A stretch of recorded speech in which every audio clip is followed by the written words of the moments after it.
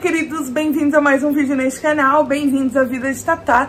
Tô começando a fazer esse vídeo assim, do nada, eu tava gravando outro vídeo, meu cabelo está recém-finalizado. E aí eu tava lembrando que a Dayelen Pamela fez um vídeo contando as verdades sobre o cabelo ruivo e as impressões dela e tudo mais. E aí como já tem uns dois meses que eu estou com o cabelo dessa cor, achei que seria interessante falar também as minhas impressões, tá bom? Se você chegou neste vídeo agora, aproveita já pra se inscrever. Este é o canal da Vida Crespa Descomplicada, essa é a vida de Tatá, eu sou Tatá. Tem vários assuntos rolando por aqui, mas cabelo é o que a gente mais fala, tá bom? Também me segue lá no Instagram, porque por lá os conteúdos são diferentes. Bora pro vídeo. Esse vídeo não tem roteiro, tá bom? Eu tô sentada aqui na minha cama e decidi gravar, então é isso que vai acontecer. É... A primeira coisa que eu queria falar é a seguinte... Eu jamais cogitei a possibilidade de ter o cabelo ruivo, cobre, sei lá o que. Não queria, não queria. Muitas pessoas me davam, ai, tinge o cabelo e não sei o que. Eu falava, não, não, né? E aí o que acontece? Eu fiz aquele negócio de coloração pessoal e dentro da minha paleta de cores está lá um cabelo meio cobre, enfim. E aí eu falei, caraca, será que dava bom mesmo? Falei, deve dar, porque tudo que eu tô testando da minha paleta de cores tá me fazendo ficar mais bonita, basicamente é isso. pra mim, eu olho e falo, caramba, deu muito certo. Com tudo, com roupa, com acessório e tal. Por que com cor de cabelo não seria igual? Tem que ser igual. Não tô falando que pra você mudar a cor do cabelo você precisa fazer negócio de coloração pessoal, tá? Não tô falando. Vai do seu gosto, da sua preferência. Porque já tive cabelo rosa, já tive cabelo roxo, loiro, é, marsala, enfim, vários cabelos. E cheguei nessa cor aqui e é isso. O que aconteceu? Quando eu vi lá na minha paleta de cores, eu pensei, pode ser que um dia... Aí já mudou o pensamento, tá vendo? Eu falava que não. Mas depois eu falei, quem sabe um dia, não. Aí o que eu fiz? O cabelo estava castanho, porque eu tinha vindo aí já de um corte químico, tava tentando lembrar a palavra. Tinha vindo de um corte químico, eu platinei o cabelo, pintei de rosa. Quando eu pintei de roxo, alguma coisa deu muito errado. Na verdade, foi com o cabelo rosa. Alguma coisa deu muito errado. Aí eu pintei de roxo, o cabelo tava curtinho, quebrando, né? E aí quebrou demais, ficou muito diferente. Eu falei, vou manter tudo escuro e aí consegui ficar com o cabelo escuro o de acho que 6, 7 meses em ju de 2021, que pra mim já foi uma vitória. Eu não tinha o hábito de ficar tanto tempo com uma cor de cabelo só. Mas fiquei porque o meu objetivo era deixar o cabelo crescer. Quando você descolora, independente do tratamento que você tenha, pode ser que chegue um momento que o seu cabelo vai quebrar, não, Pode ser, entendeu? Uma possibilidade assim bem grande, bem grande. Deixei meu cabelo escuro e aí falei, cara, vou ficar sem mexer, mas não sabia pra qual cor iria. Eu, eu gosto de loiro, eu tive a minha fase loira, tive vários tons de loiros, é, luzes, enfim. E aí, o que aconteceu? É, eu sou do time Beleza dos Sonhos, então eles abriram lá um negócio pra você mudar o seu cabelo com Max Stone. E aí eu pedi já 7.4, pedi 7.4 e 12.11, alguma coisa assim. Passei no cabelo e aí ele deu aquela leve clareada puxando pro marrom, porém foi uma leve clareada, porque o cabelo já tinha tonalizante castanho. E aí aquela leve clareada já foi me mostrando o que eu poderia ter, você entendeu? E aí, o que, que eu fiz? Falei, vou fazer uma cremosada, que é basicamente você misturar o pó descolorante no creme e vendo o que vai dar. Descolore o cabelo com menos intensidade. Na teoria é isso, e aí tem vídeo aqui no canal, você pode ir lá ver. E aí eu descolori o cabelo, e o primeiro ruivo que eu passei foi a 7.4 da Maxton. Foi uma cor que me assustou. Eu, eu, tipo, aquilo ali me assustou. Falei, o que que tá acontecendo? Usei com a OX de 30 e aí eu tive mais ou menos a mesma reação que a da Ellen Pamela. Porque a da Ellen Pamela, no vlog dela, dá pra perceber que ela não se identificou com a cor. E eu meio que tive esse negócio também, minha sobrancelha é muito preta, meu cabelo tava muito claro. E eu fiquei assim meio em choque. É, descolori a sobrancelha no outro dia, já achei melhor, mas mesmo assim ainda não tava do jeito que eu queria. Peguei então e passei de novo a 7.4 com o X de 10. E aí deu aquela fechada um pouco melhor. Tá tudo no vídeo, vocês podem ver. É, vai ser 743, é, sei lá. E aí, é, com água oxigenada de 10 pra fechar mais o tom. E aí eu achei muito mais bonito. E eu comecei a receber mais elogios. E além dos elogios, eu me olhava e falava, caraca, deu muito bom, sabe? Tipo assim, parece que diminuiu minhas olheiras. Enfim, o negócio da coloração pessoal funciona mesmo. E a minha última tintura, o meu último retoque eu fiz com a 7644 da Beauty Color, que eu acho que é uma cor que eu quero manter. Eu achei muito bonita. Aqui já tá desbotando, né? Ele ficou assim... Mas ele tinha alguma coisa mais do avermelhado. Eu gostei demais. Ficou bem, uma cor bem bonita. E aí talvez eu mantenha. Me deram a sugestão da Igor, acho que é Igor, né? Pode ser que eu dê uma olhada, enfim. Pode ser que eu mude aí marcas. Eu não tenho muita fidelidade com marca, não. Até eu achar, de repente, alguma que eu me identifique, que eu acho maravilhosa. Enfim, a Beauty Color deu uma leve ressecada no meu cabelo. E aí pode ter sido o estado que meu cabelo tava, eu tive essa impressão, mas muita gente deixou nos comentários que com a Beauty Color também é, teve aí um negócio do ressecamento. Eu tô toda corcunda. Ai, que nervoso. E aí, minhas impressões com o cabelo ruivo. Eu tô gostando da cor, me identifiquei.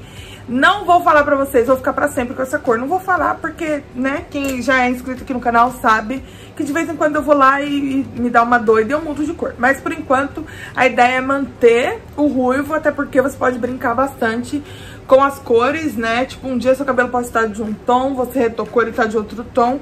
Isso é muito legal no cabelo ruivo.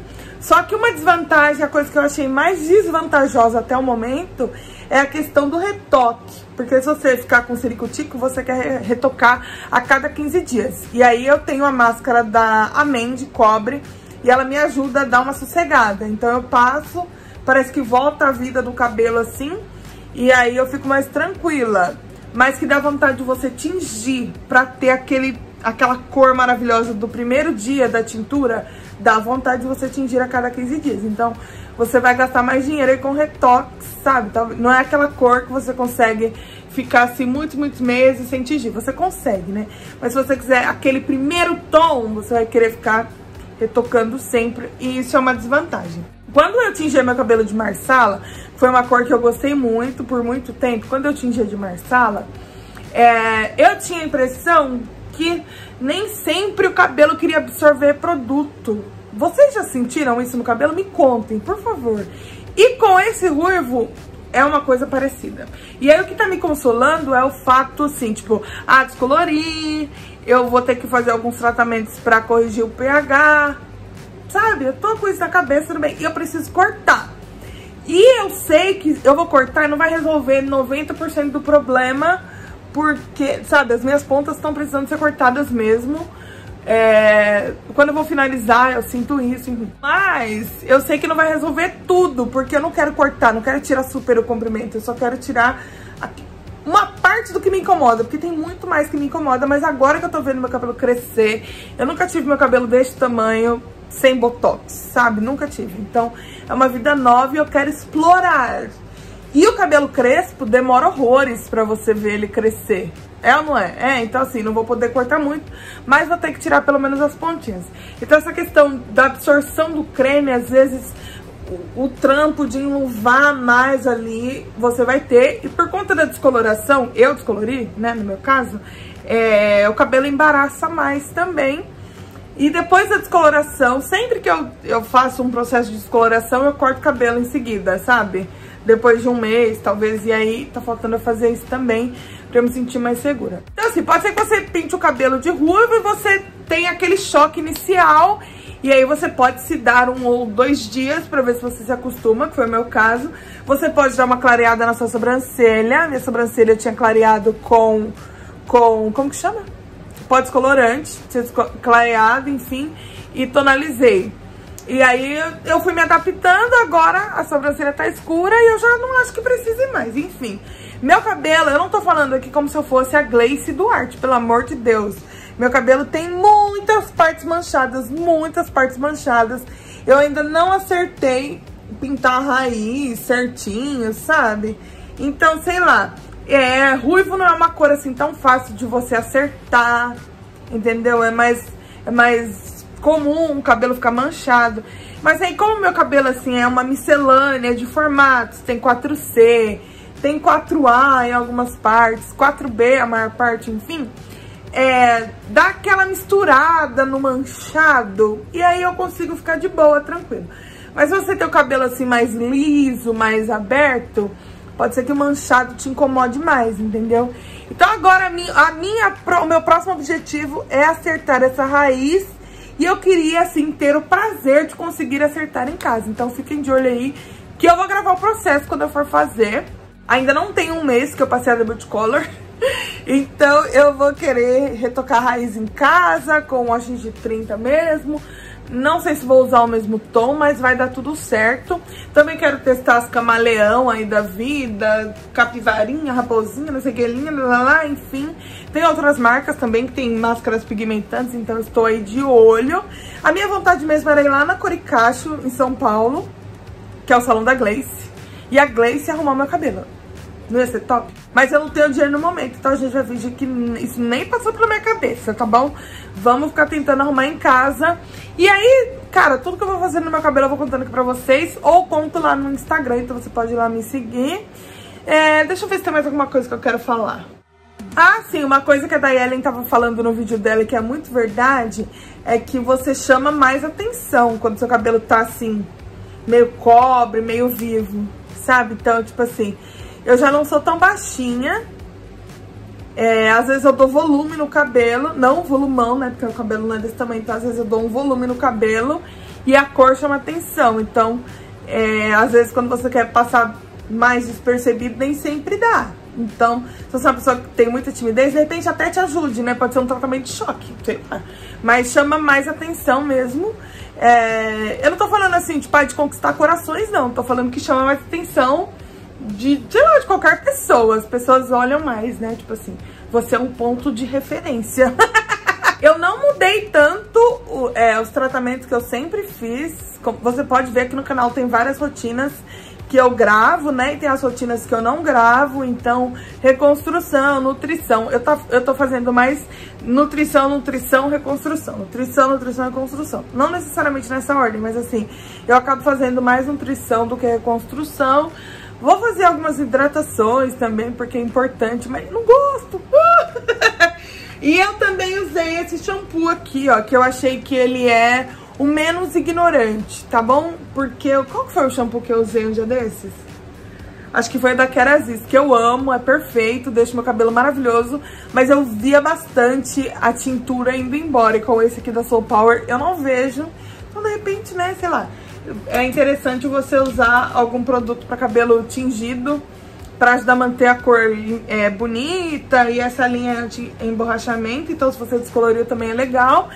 E mesmo que você não tenha descolorido, a água oxigenada também, né, interfere bastante ali na estrutura, no, no ressecamento e não sei o que lá. Então, você vai precisar cuidar mais do seu cabelo se for uma coisa que você quiser, de repente você tá usando shampoo baratinho e, e um potão de escala e tá dando certo, né? Cada um com a sua história, cada cabelo é um cabelo. Eu só tô aqui dividindo a minha experiência e passando dicas que funcionam pra mim, tá bom? Acabou que esse vídeo ficou maior do que eu imaginava e fazia tempo que eu não gravava vídeos aqui falando assim, até a boca ficar seca. Uh, vou até tomar uma água. E aí eu quero saber se de repente faltou eu falar alguma coisa. Tem alguma dúvida? Você comenta aqui ou me manda lá no direct do Instagram, porque por lá a resposta é mais rápida, de repente é uma coisa que eu posso responder assim rapidão, você me pergunta por lá. Mas me deixa aqui alguma sugestão de vídeo também, se tem uma tintura que você usou e falou, meu Deus, maravilhoso, perfeito, precisa testar, comenta aqui abaixo. Já tô sabendo da Igora, qual foi a outra? Gente, só lembro... Ah, tá. Minha amiga falou de uma Color... Color Vivance, não lembro mais o nome, vou ter que perguntar pra ela.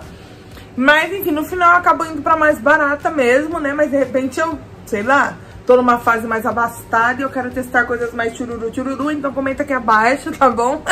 Uma máscara pigmentante também, comenta aqui que eu quero saber. Eu tenho da Mandy. Minha amiga Suzana, maravilhosa, do cabelo perfeito, que vocês amaram. Ela usa Trisco. Aí tem essas, é, que acho que são mais diferentes, então tem a Color Pots da Beauty Color, tem a Camaleão e tem outros aí, me contem aqui abaixo uma que você já usou e amou. Eu amei fazer esse vídeo, falei, falei, lulululu. me segue lá no Instagram, por favorzinho, se inscreve aqui neste canal pra acompanhar aí a saga do meu cabelo ruivo. Acabei de lembrar que eu não respondi um direct lá, vou responder lá agora.